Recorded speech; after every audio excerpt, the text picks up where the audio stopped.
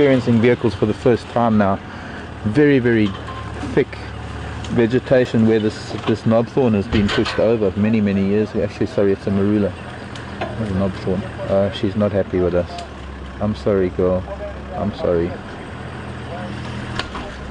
And it's not me making a note.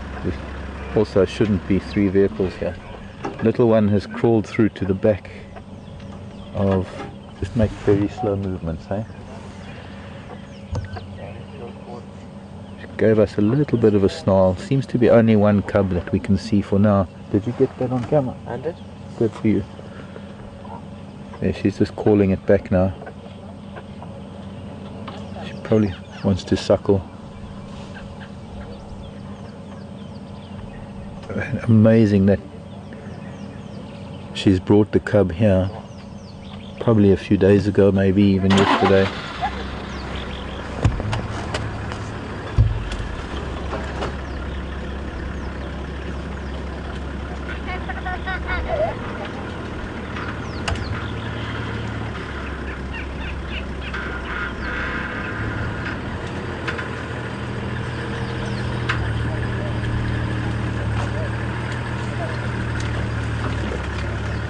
It's coming back, it's coming back to her. No one's coming back to her. Uh, I can see a little bit of movement at the back there. I don't know if it it's it gone back again. Yeah. Uh, unfortunately, these guys mustn't move around too much with the vehicles. A little bit too much activity here. See, we would never have known that that's what she was doing. She was coming back here all along. Now that we followed her here and that the cub is here, maybe it can be controlled a little bit differently, but Oh, the cub's just here now behind her. Good. Oh, Good.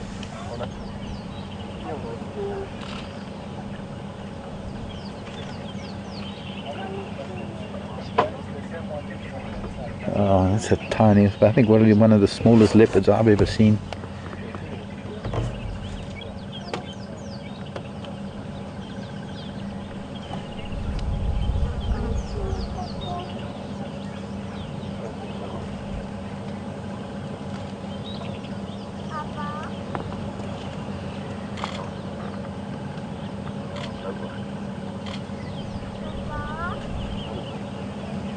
Just try and reverse a little bit. One.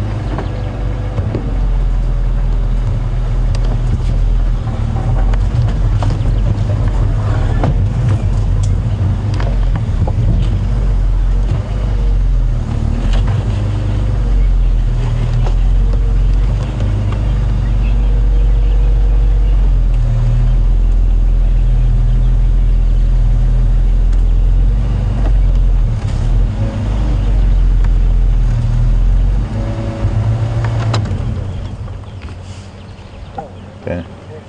As soon as there's movement, the cub sort of hides, but it'll probably come out again. I hope. Um,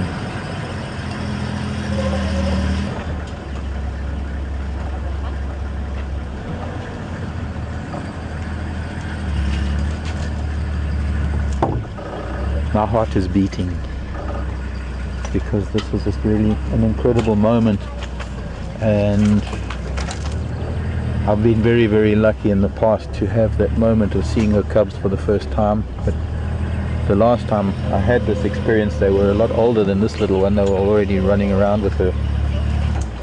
Uh, age-wise, I'm guessing maybe about three weeks, four weeks.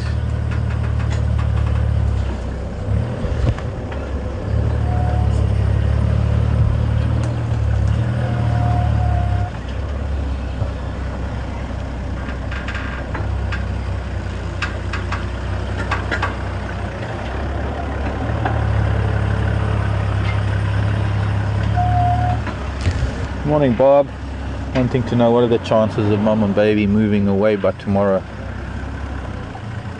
I think, Bob, your guess is as good as mine. There's a chance that she'll still be here, and there's a chance that she'll have moved. especially now that she's now that uh, I don't know. This is a behavioral thing. This is something that only Karula can tell. And I don't even think if she could talk right now, she'd be able to tell us. I think it'll all it'll all hinge on what transpires in this area over the next 24 hours, whether or not she moves or takes it with her, or she leaves it here, goes off and hunts somewhere else. Whether she's using this as a as a temporary den site. very difficult to, to be able to predict what an animal is, is or isn't going to do.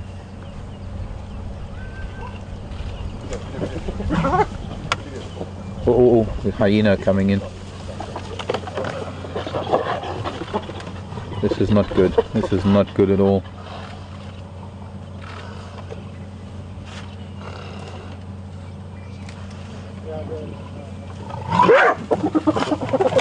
She jumped down and gave the hyena a good smack.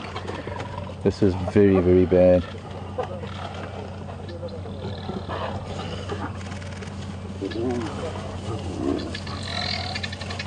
You horrible. Children. Go away, children.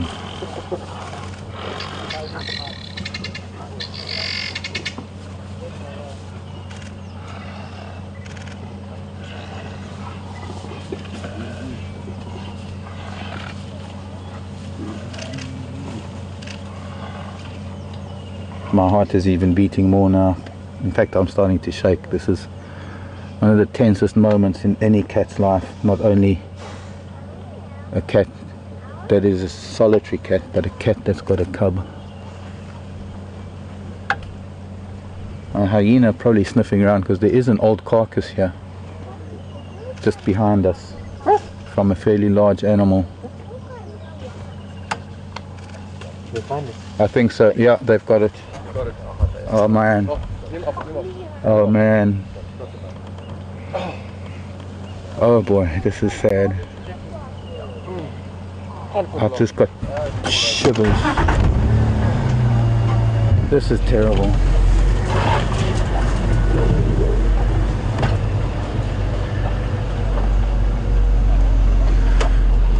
Oh my word.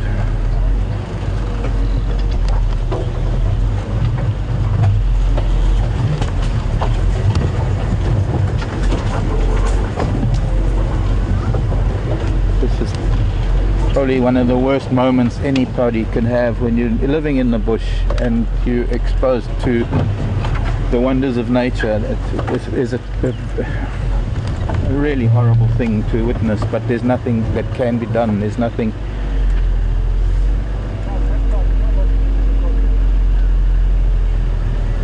There's nothing that could have prevented this from happening.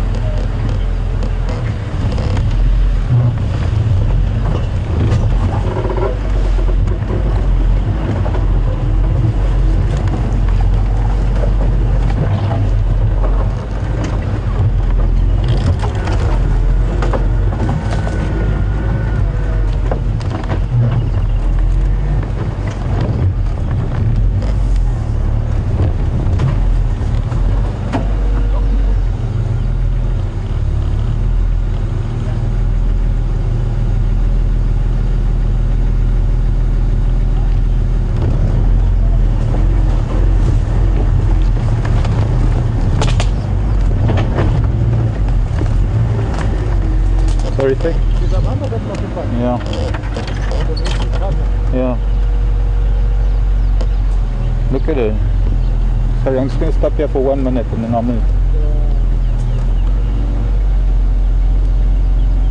was only one. I only saw the one. Yeah, I just saw one. And that missing Palega with the paper. Yeah. It took it from this slit from here. Um, there is a pretty deep hole underneath it, that fallen marula tree, which is where she probably had it, but for some reason, I don't know, for some reason, maybe with the noise of the of the hyena being here,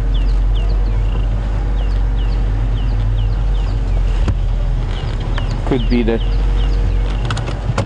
the cub came out of that hole just behind her at the, bait, the, the, the root base of that fallen marula tree was a deep hole and if the cub had stayed in there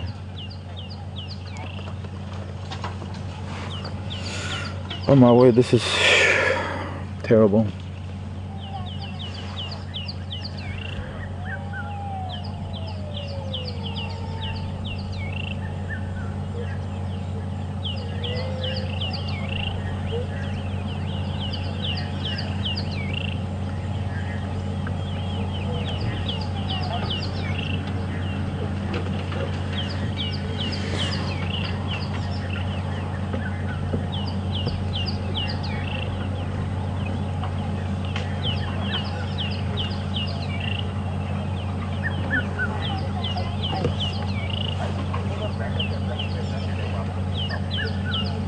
This is the first time in any of her litters that she's lost a cub. So she's been a very good mom up until now. I can't.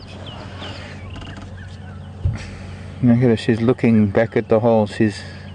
Oh, turn this volume down. The. Uh,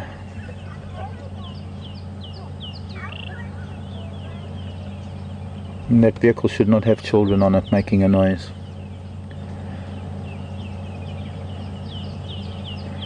Um, I don't know what to say, folks. It's just, it's, I'm speechless. It's just a, uh, a moment in time that we just happen to witness something that has been going on for millions of years. The conflict of predators. She tried her best. She fought with him. She even jumped onto that one hyena's back. She jumped out of the tree and actually gave it a good nip and a good claw. But I think the more she was determined to fight, the more they knew there was something that she was fighting for. But they could also smell it. There's no doubt that there's the scent of a cub here.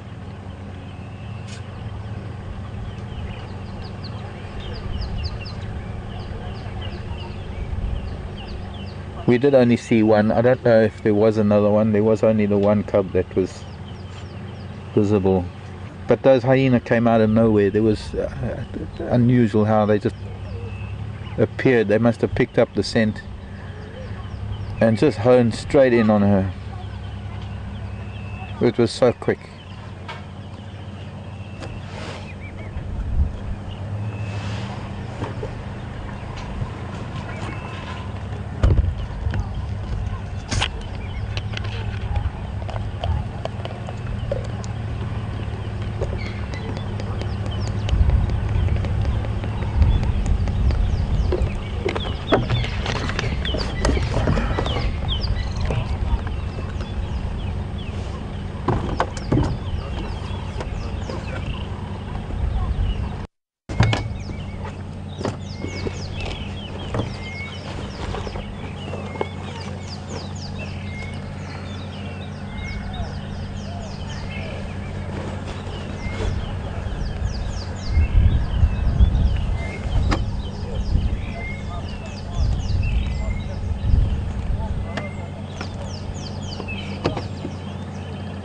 Determination and the and the, the persistence of hyena. If they know something's up, they're not going to give up easily. I've seen hyena sitting under a tree with a leopard killing up at the top, and they'll wait until the very very last for any scrap that might fall, or for a chance to have a snap at the leopard when it comes down. What's interesting is that once they got what they wanted, they've gone. They left her alone.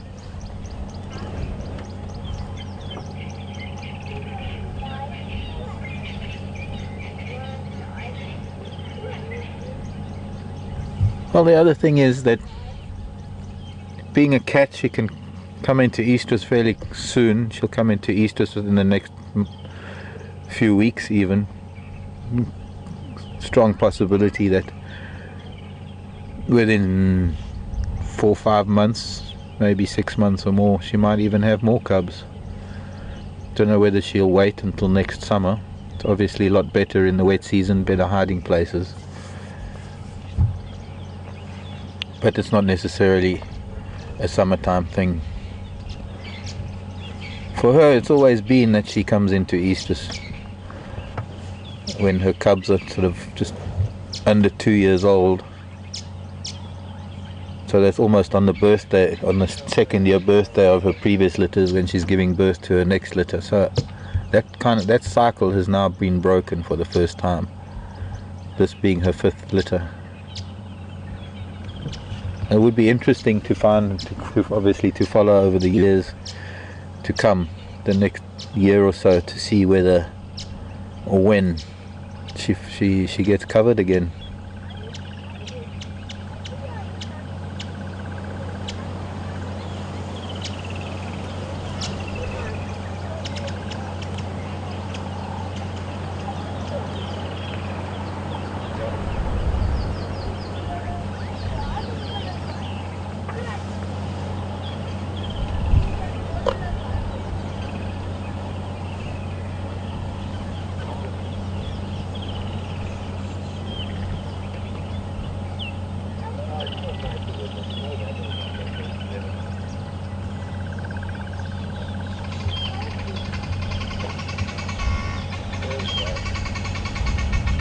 Yeah, it's picking up to the uh, the guinea fowl calling again. For whatever reason, they're starting to make a noise again.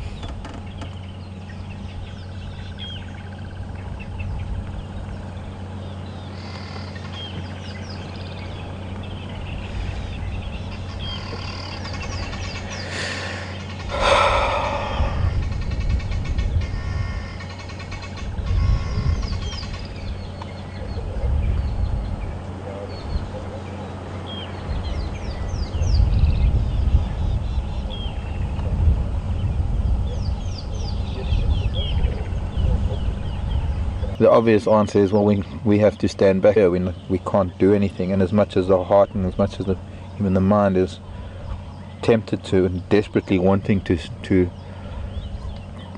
change the course of events, there isn't physically anything that can be done. There would have been, I mean, two very aggressive hyenas and one very aggressive leopard. How does one even begin to, to, to change the outcome of something like that. It, of course, the question is if we weren't following her, we would never have known. We would have been in the dark completely. We, would have been looking for her cubs for weeks to come and wondering why she wasn't bringing them out. And eventually, I guess, we would have got the message that maybe they didn't survive. Um, it's not the first time leopards have lost cubs. Certainly the first time ever on camera, which is not a great thing. Although it has been filmed for documentary purposes in other in other parts of Africa. I don't think we've ever had this on live on a live broadcast with the loss of a cub.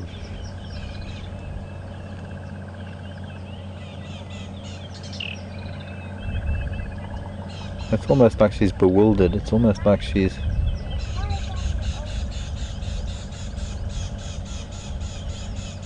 not quite sure